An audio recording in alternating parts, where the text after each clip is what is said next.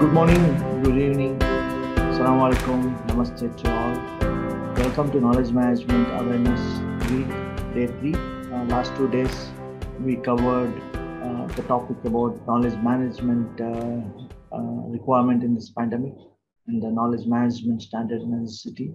Yesterday, we looked at the kind of complexity and the knowledge uh, constraints around us and how the complexity uh, multiplies in organizations. With that awareness, let's uh, let's start with the first important question. Um, all right, now I understand all the challenges. Now, what do I do?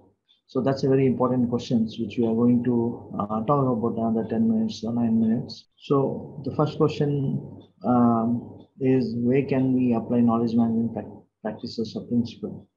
That's an important question because again, you know, it, it, it, so when we look at this holographically, the circle of knowledge evolution, uh, man has uh, has always uh, enriched the civilization over uh, thousands of years and built upon knowledge. Now you could ask me how this is relevant today. Now, how knowledge management can be applied into agriculture sector? Starts managing this knowledge and shares between, let's say there's uh, one farmer was uh, uh, cultivated and within a small uh, land, he has cultivated a, um, bumper crop and uh, and is, is consistently doing year after year, then it is also important for uh, the nation to learn from that one farmer and uh, share the best practices with the others. So next layer of industries are you know manufacturing industry, textile, shipping, military, mining, healthcare, government, medical care, academics, etc. Every industry has a different domain knowledge. Every industry has a different um, um, requirement of knowledge and uh, how do you cater and what level you stand and how do you see this uh, complete knowledge life cycle.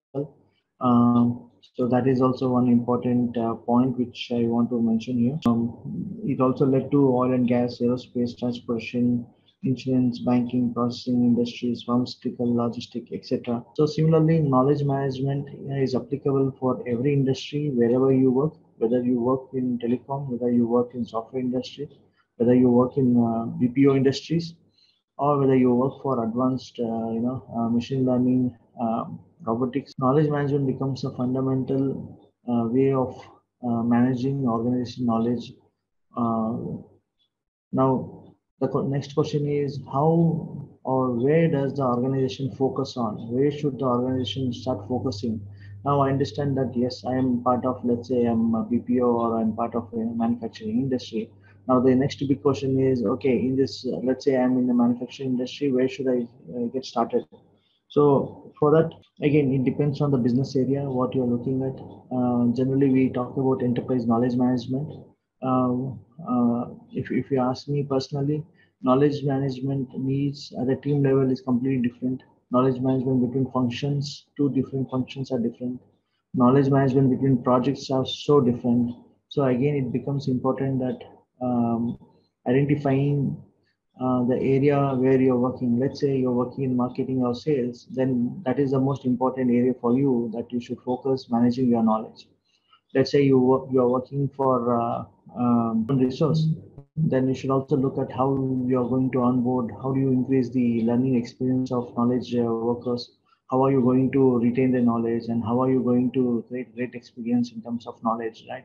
So that that is the area which you could develop as part of HR. Now, let's say if you're part of uh, engineering, um, you could look at how do you establish lessons learned systems uh, so that, uh, that if there are hundred of projects, uh, you get to know feedback on the ground each and every day what is working what is not working. And these are uh, explicitly documented and this can be reused for better organization resilience. So these are some of the examples which i want to kind of share because uh, uh today uh, in this pandemic if every knowledge worker is dependent on management to drive knowledge management it may not happen uh, because uh, in this day, uh, if organization can sustain and survive this pandemic, I think that is the greatest win for the management and that is the greatest success story for them. But what about the knowledge managers? Uh, sorry, knowledge uh, workers. uh, every knowledge worker is responsible for his own knowledge and it is important that you know in this pandemic working from home we all have uh, we already have seen the constraints what we have i think we should start managing our knowledge wherever we are in whatever form we could. Uh, knowledge management is not about tool it is about practices uh, which we are going to you know uh, slowly uncover in coming days. So this is about you know again you know uh, you could ask me how do we, we go about you know uh, so as i said you, you you could start with your team you could start with your department. If you're uh, project wise you can start with the project level. So again um, if, if you're if you're looking at you know very high level then you need management support. You need management to kickstart uh, knowledge management but if you're looking at uh, um, you know a standalone KM then it can happen. If you're if you're head of a department you could kickstart it. If you are uh, if you are starting a new initiative or if you are starting if you are head of uh, um, any function you could kickstart your knowledge management journey.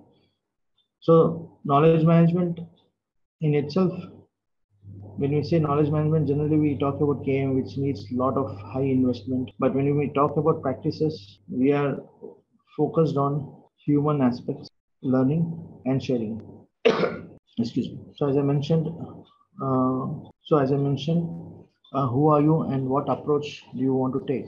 So there are multiple uh, approaches uh, you know, knowledge worker uh, can look at. When I say knowledge worker who has no idea, uh, I mean, who is not part of any formal KM, if you are a product manager, if you are a process manager, if you are a business unit head, and you're passionate about uh, you know um, looking at knowledge dimension, you could always start with standalone knowledge management systems and practices. Um, but if you, they could be, um, you know, you could be doing a lot of ad hoc uh, knowledge management uh, practices or principles you, you, you would have used already in your function. Or there are, you know, organization initiatives and there are well-established uh, KM functions and there are at nation or, you know, um, nation, national level, uh, KM uh, is driven as policy. So if this happens, the whole nation gets benefited. If this happens, um, the whole organization at the enterprise level, you can drive uh, KM. Um, a certain industry, some industry initiative, if, if there are no uh, initiatives in terms of there's no plan to have KM form, formal KM, then there's always, uh, um, you can always start independent initiative across enterprise enterprises for, you know, reusable assets, knowledge sharing, etc. If you're standalone, if you're a team lead, you could start uh, lessons um, or knowledge assets management. You could uh, share your lessons. You could uh, start your you know, knowledge sharing, etc.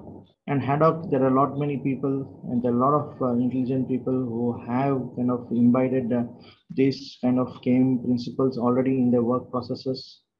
Uh, so they should continue doing it, and they could also look at the standard and adopt some of the areas, and then they could always uh, you know mature as a process. Um, so I believe this kind of provides you a very high level of, let's assume you want to kickstart a knowledge management. It doesn't matter whether you have uh, management support or whether uh, management uh, is investing uh, uh, money or managing investing resource.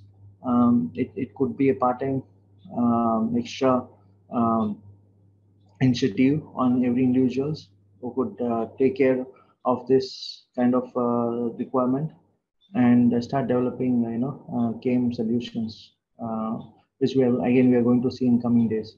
But fundamentally uh, knowledge management is not top driven knowledge management is self responsibility of every knowledge worker every knowledge leader. So knowledge in knowledge dimension there's no hierarchy. There's only natural flow of knowledge. You either stop it or you share it appropriately.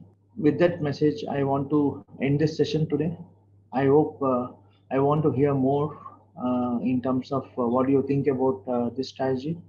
Do you think, do you see uh, there is uh, value in your role to start something on standalone KM initiatives or you want to start a uh, enterprise initiative, whether if you are already in a KM function how you could embed uh, knowledge management uh, standards in your KM function uh, at national level. Then how do you again you know uh, promote cross industries, cross segment knowledge sharing and best practices, case studies, collaboration and simulation.